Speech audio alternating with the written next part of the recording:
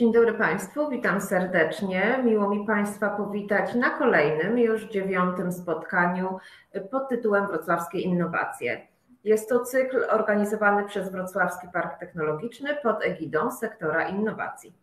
Jak Państwo dobrze wiedzą, spotykamy się tutaj z wrocławskimi innowatorami, którzy opowiadają nam o swojej drodze, o tym, jak przekuć pomysł w prosperujący biznes, ale też opowiadają o trudnościach, które napotykają po swojej, na swojej drodze. Moim gościem dzisiaj jest pan Kacper Budnik, CEO w BZB UAS. Dzień dobry, panie Kacprze. Dzień dobry.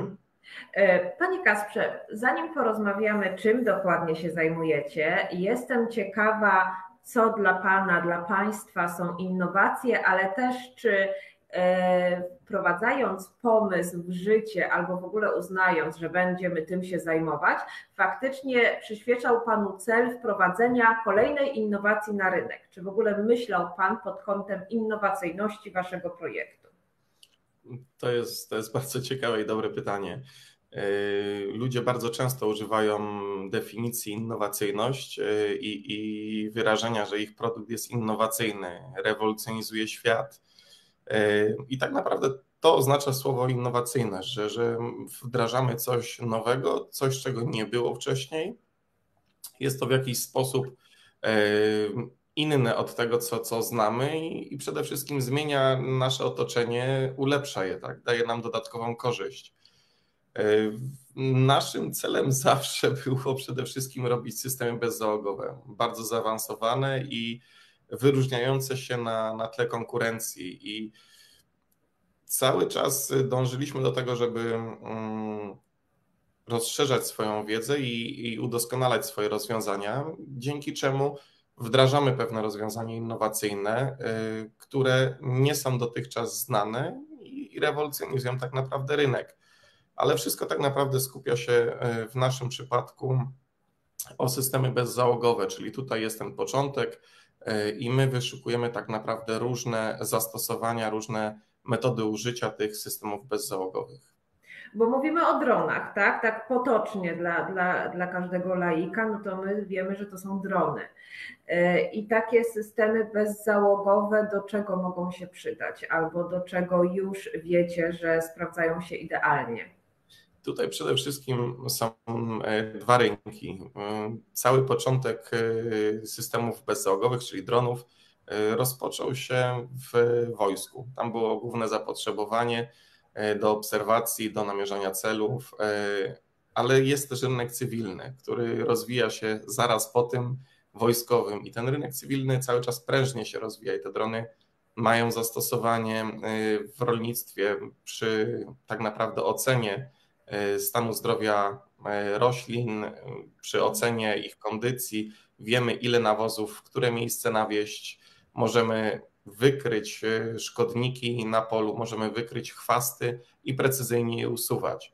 W leśnictwie możemy e, liczyć drzewa, na przykład określać, które drzewo również jest zdrowe, chore, które trzeba wyciąć. I bardzo szerokie zastosowanie w geodezji, czyli tutaj e, wszelkie pomiary, precyzyjne pomiary objętości, hałd, powierzchni, ale na tym tak naprawdę się drony nie zamykają. To są te, te dziedziny, które wymieniłem, są dziedzinami, w których my pracujemy. Jest również, y, te drony również są wykorzystywane na przykład w wideofilmowaniu, czyli kręceniu filmów. Y, ja to zawsze potocznie mówię, kręcenie wesel i film weselnych, ale nie tylko tutaj to się zamyka. Tak? Wszelkie produkcje hollywoodzkie też wykorzystują już systemy bezzałogowe drony. I dalej tutaj się nie zamykamy, jest jeszcze transport. Szeroko rozumiany, y, firmy transportują krew, paczki, przesyłki jest to tak zwany transport ostatniej mili, czyli już dostarczenie tak naprawdę produktu do klienta. I wchodzimy jeszcze w nową e, tak naprawdę gałąź systemów bezzałogowych, dronów, drony do transportu ludzi. I to też jest bardzo ciekawa rzecz, bardzo rozwijana. Będąc na, na targach e, w Dubaju, też można było zobaczyć bardzo dużo konstrukcji i firm, które już w tym kierunku zmierzają, żeby w przyszłości e, drony transportowały ludzi. To są bardzo ciekawe rzeczy. Bardzo się cieszę, że się spotkaliśmy, bo faktycznie dla przeciętnego laika, też dla mnie, no dron kojarzy mi się na dzień dobry faktycznie z dwoma rzeczami, o których Pan powiedział, czyli drony wykorzystywane przez wojsko i drony wykorzystywane komercyjnie przy kręceniu filmów. E, więc ta całe, to całe spektrum działań, o których przed chwilą Pan powiedział, faktycznie mocno poszerzają horyzonty, myśl, horyzonty myślowe na temat dronów. E, I to absolutnie zgadzam się, jest, jest sprawa innowacyjna. A proszę powiedzieć, skąd pomysł na życie na drony? Czy to była jakaś pasja, z, którą, z której uznaliście, że e, zrobicie biznes? No bo też umówmy się, innowacyjność innowacyjnością, chęć zmiana, zmiany świata, ale zawsze ten aspekt finansowy gdzieś jest, no chcemy na tym zarabiać. E, jak to się zaczęło? Oczywiście. Mm, początek tak naprawdę nie jest e, z mojej strony, tylko ze strony mojego wspólnika. Moim wspólnikiem jest Jan Byrtek i on tak naprawdę od dziecka pasjonował się lotnictwem. E, bardzo istotne dla niego było właśnie poszerzanie wiedzy w aspekcie budowania samolotów, e, latania tymi samolotami. E, on jest też szybowcem, jest też pilotem szybowcowym, także lata na, na szybowcach, skacze ze spadochronu i tą pasję tak naprawdę rozwijał od dziecka. tak się zdarzyło, że spotkaliśmy się na Politechnice Wrocławskiej na, na, na studiach Janek już od początku tak de facto działał w organizacji studenckiej, czyli w akademickim klubie lotniczym. Tam rozwijał swoje pasje i w pewnym momencie zaangażował też do pracy mnie. E, ja trochę inny kierunek na początku przybierałem, bo miałem zamiar e, tak naprawdę iść w dziedzinę automotive, ale z automotive przebranżowiłem się na systemy bezzałogowe, małe drony i większe drony i, i tak, tak naprawdę to wszystko się rozpoczęło. Jeździliśmy na zawody do Stanów, do Australii, te zawody wygrywaliśmy. E, I gdzieś narodził się pomysł na to, e, żeby otworzyć własną firmę. Bo dlaczego mamy robić coś dla kogoś? Jak możemy to robić sami, sami sobie być szefami i w pewnym momencie możemy osiągnąć sukces. To nie jest nigdy podyktowane, że ten sukces się osiągnie, ale jeżeli się do tego dąży, to jak najbardziej wdrażamy później na, na, na rynku własne produkty, a nie produkty czyjeś. E, a mogę się spytać, ile lat już jesteście na rynku, bo to jest dla mnie istotne przy następnym pytaniu. Na rynku w tym roku, w 1 lutego, minęło nam już 6 lat. Oj, to, to długo. To faktycznie chciałam się spytać. E, fajnie, że w ogóle Powiedział Pan o uczelni i faktycznie to jest któryś raz, gdzie potwierdza nam się, że nauka i biznes idą w parze i to faktycznie e, łączy e, i z tej nauki absolutnie e, do biznesu potem już jest krótsza, krótka droga, oczywiście jakby pewne cechy ludzi, którzy się spotykają i to musi działać i, i kliknąć, to, to musi nastąpić. Ale moje pytanie już było pod kontekstem, no bo po drodze mm, w Waszej działalności mamy, mieliśmy pandemię, potem wojnę. I jak to się odbiło u Was na Waszej działalności? Czy to był akurat ten moment rozkwitu, gdzie, gdzie Wasze produkty E, absolutnie zostały docenione i właśnie dzięki pandemii być może te drony bardziej były wykorzystywane niż czynnik ludzki. Jak, jak, jak to wspominacie? Można powiedzieć, że już wspominacie. Też, też od razu zaznaczę, że my nie tylko produkujemy i sprzedajemy drony, również świadczymy usługi z wykorzystaniem tych dronów. I tutaj jak e, robimy również szkolenia dronowe, czyli mamy kilka rzeczy tak naprawdę w jednej spółce, bo jesteśmy e, certyfikowanym ośrodkiem szkoleniowym, e, czyli placów, niepubliczną placówką kształcenia. A, I to dlatego powiedziałem, bo trochę, trochę się musieliśmy napivotować, jeżeli wchodziła, wchodziła pandemia. Pivot, czyli trochę zmienialiśmy kierunki działań. W 2020 mm, tak naprawdę, gdy zaczęła się pandemia i wszystkie obostrzenia, spotkaliśmy się z wieloma problemami. Pierwszym podstawowym e, było to, że musieliśmy e, opuścić nasze pomieszczenia, gdzie mieliśmy biuro, z prostego względu, że cały budynek e, przejęło wojsko na cele covidowe, czyli tam trzymali osoby, które były poddane kwarantannie. Drugą sprawą było tak naprawdę była rezygnacja wszystkich naszych klientów z usług szkoleniowych Czyli z dnia na dzień tak naprawdę wszystkie szkolenia, które prowadziliśmy, zostały odwołane. Tak samo wstrzymane zostały zakupy naszych klientów, czyli sprzedaż dronów też została wstrzymana i tak naprawdę zostały tylko i wyłącznie usługi. E, także skupiliśmy wtedy całą siłę na, na usługach, e, co tak naprawdę jest, jest bardzo dobre, ponieważ my świadcząc usługi na naszych produktach, jeszcze bardziej je przystosowujemy dla naszych klientów, e, żeby one były lepsze i lepiej się sprawdzały w terenie. Skończył się, skończyła się pandemia, rozpoczęła się wojna i tutaj znowu mieliśmy trochę zmianę tak naprawdę trendów sprzedażowych.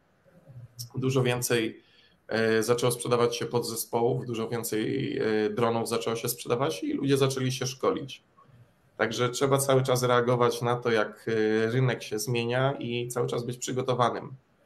A no niestety sytuacje, mm, które są tragiczne za naszą wschodnią granicą, przyspieszają ten rozwój technologii tak było zawsze w historii i tak jest, że niestety te, te, te wojny, które są tragiczne w skutkach, y, napędzają rozwój technologii, co dotyczy też nas, bo mamy dostęp do, y, do coraz to lepszych czujników, sensorów, optyki. Także y, przez ten postęp technologii rozwija się też rynek cywilny, gdzie my możemy dostarczać naszym klientom lżejsze maszyny, nowsze, możemy więcej analiz wykonywać. Także jest to, jest to gdzieś taka dodatkowa korzyść. E, a proszę mi powiedzieć, bo bardzo fajnie się nam układa z rozmowy taki obraz innowatora, ale pod względem cech właśnie, e, który to innowator powinien e, posiadać, bądź cechy, które ma Pan i Pana wspólnik, właśnie dzięki którym ten biznes prosperuje, prosperuje bardzo dobrze i będzie się rozwijał. Bo mam tu na myśli już tą taką elastyczność, o której Pan przed chwilą mówił, czyli ta możliwość przebranżowania się, nie spakowaliście mm, manatek i, i, i nie wywiesiliście kartki zamknięte, tylko, tylko faktycznie kombinowaliście co dalej, więc ta elastyczność jak najbardziej. Pewnie jakieś cechy, tak jak Pan też mówił, zmienił też kierunek działania na uczelni, czyli, czyli tutaj znowuż wracamy do tej elastyczności i może takich szerokich horyzontów. Ale jakie cechy, oprócz oczywiście przedsiębiorczości, no bo zakładam, że to ma być dalej biznes, y, uważa Pan, że trzeba mieć, żeby osiągnąć sukces, będąc innowatorem?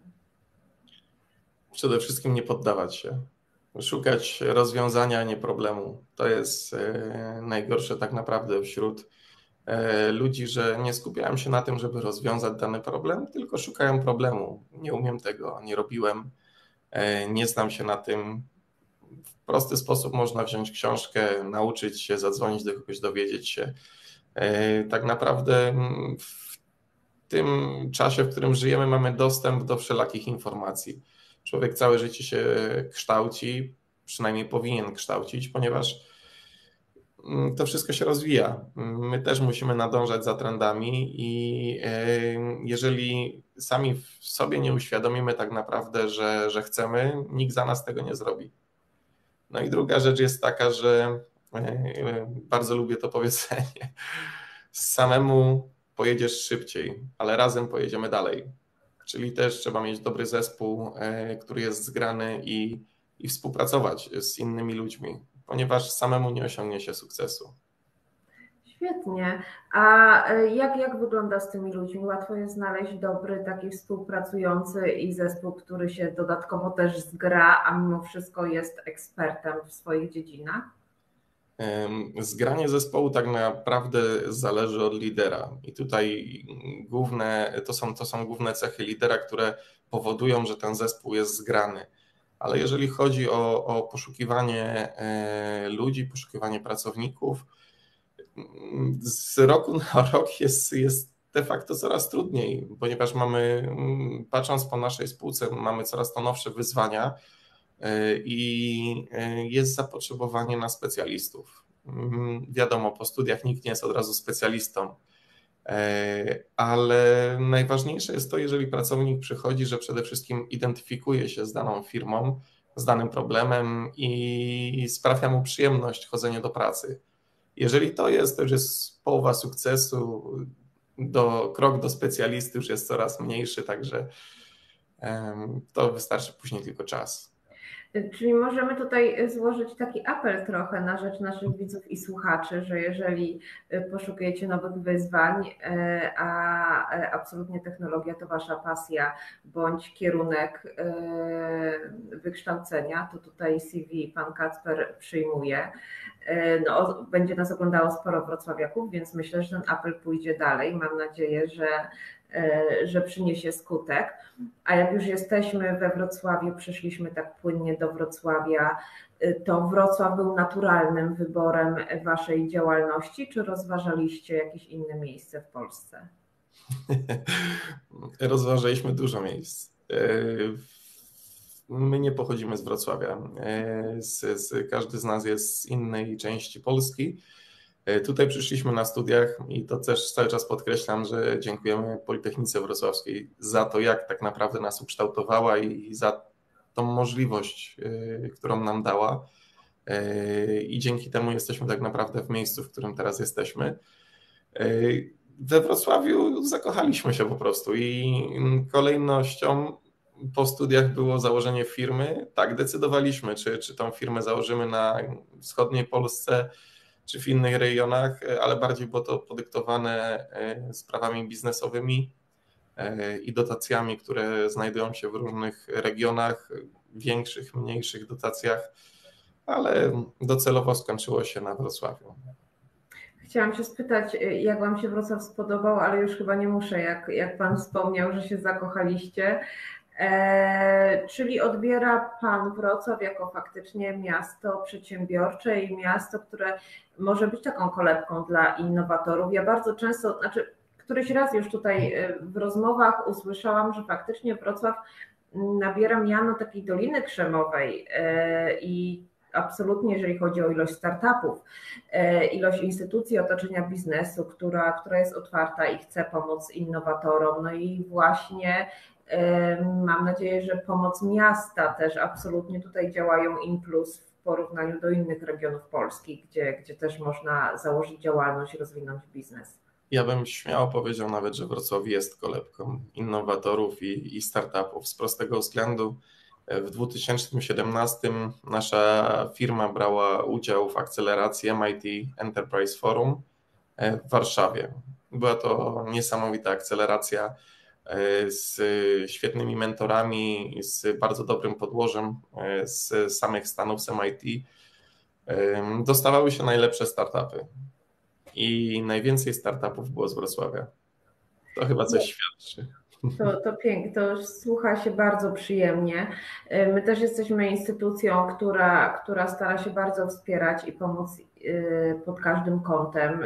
Nasz nowy projekt Sektor Innowacji też absolutnie ma zamiar i promować innowatorów, ale też szukać tych kontaktów i łączyć naukę z biznesem. Więc serdecznie też Państwa zapraszamy, jeżeli tylko macie pomysły bądź jesteście już prosperującą firmą. Panie Kacprze, a jak ten rok wygląda? E, miejmy nadzieję, no, życzę każdemu, żeby już trochę nam się odczarowało to paruletnie fatum i, i, i mimo wszystko, żebyśmy już wychodzili z tego marazmu i, i strachu o przyszłość. Jak ten rok was, u Was się zaczął? E, ten rok zaczął się bardzo pracowicie. Przede wszystkim porównując z poprzednimi latami, e, dla nas zawsze styczeń i luty był takim miesiącem przestoju odpoczynku e, takiego sezonu urlopowego. Niestety, niestety, niestety chyba w tym roku z tych urlopów. No tak, pola nie zasiane, wesel mniej. No w tym roku niestety z tych planów urlopowych e, zrezygnowaliśmy. Mamy bardzo dużo zamówień, także skupiliśmy się na, na dopracowaniu pewnych procesów w spółce żeby to wszystko jeszcze lepiej funkcjonowało i żeby te dostawy szybciej wychodziły od nas. Y, czyli co, w tym momencie plan macie na rozwój, y, tych zamówień jest. Y, jedyne czego brakuje to ten czynnik ludzki? Tak, doświadczone osoby, to, to, to, to, jest, to zawsze się przydaje, tak? Osoby z pomysłem, z tak naprawdę otwartą głową na, na nowe rozwiązania, na nowe wyzwania. Ktoś, kto nie boi się tak naprawdę podejmować ryzyka i, i dąży do przodu. A proszę mi powiedzieć jeszcze jedno, co ciekawi mnie, im więcej prowadzę tych spotkań i oczywiście e, to są przeważnie zupełnie różne branże, e, z którymi rozmawiam, ale mimo wszystko wszyscy jesteście e, młodymi branżami szukających inwestorów, szukających dofinansowań. Gdzieś tam wiadomo też, że, że, że chcecie być konkurencyjni i znani na rynku. Jak wygląda ten świat startupów między nimi. To znaczy, Państwo, jak się spotykacie, tak nawiązuje właśnie do, y, do niedawnego spotkania Arawu, Startup Meetup, o którym już rozmawialiśmy sobie tutaj za kulisami, że oboje tam byliśmy. Y, czy faktycznie ten, ten świat młodych, prężnych, technologicznych firm się wspiera, przekazuje sobie informacje, pomaga, czy dalej to jest bardziej taka konkurencja na rynku? Powiem szczerze, że miałem przyjemność chodzić na, na wiele e, startup meetup, na tych spotkań startupowych e, i zawsze one przynosiły jakiś, jakąś korzyść, tak? E, najważniejsze jest to, żeby z wszystkiego wyciągnąć jakąś lekcję. To wydarzenie, które teraz było organizowane przez ARAF, było genialnie zorganizowane. Bardzo dobrzy prelegenci, bardzo dobry panel, także można bardzo dużo wiedzy wynieść z takiego spotkania. Wiedza to jest jedno, a później są znajomości tak naprawdę. Uważam, że startupy między sobą współpracują. To otwarte, które e, chcą się rozwijać, nie widzą przeszkód, żeby współpracować, e, mimo to, że jesteśmy z różnych branż E, my cały czas mamy kontakt z e, firmami już, bo no niestety startupy są do pięciu lat, e, z firmami, które, z którymi zaczynaliśmy tak naprawdę współpracę. Cały czas mamy jakiś kontakt. Polecamy też sobie klientów, przekazujemy pewne mm, rzeczy, którymi no, każdy klient ma różne problemy, tak. Nasz sektor jest w stanie rozwiązać, załóżmy, połowę problemów danego klienta E, dlaczego ja mam nie polecić i nie skontaktować tak naprawdę drugiej osoby z e, moim klientem, e, mojego znajomego z, ze startupu, kiedyś startupu, teraz firmy, który tak naprawdę też zaczynał ze mną.